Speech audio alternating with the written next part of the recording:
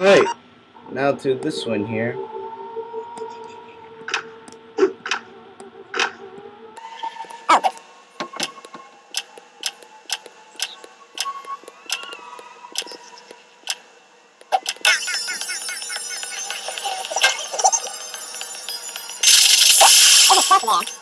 Now let's do this. We can do like this. Okay, is it going? Okay, this works like this.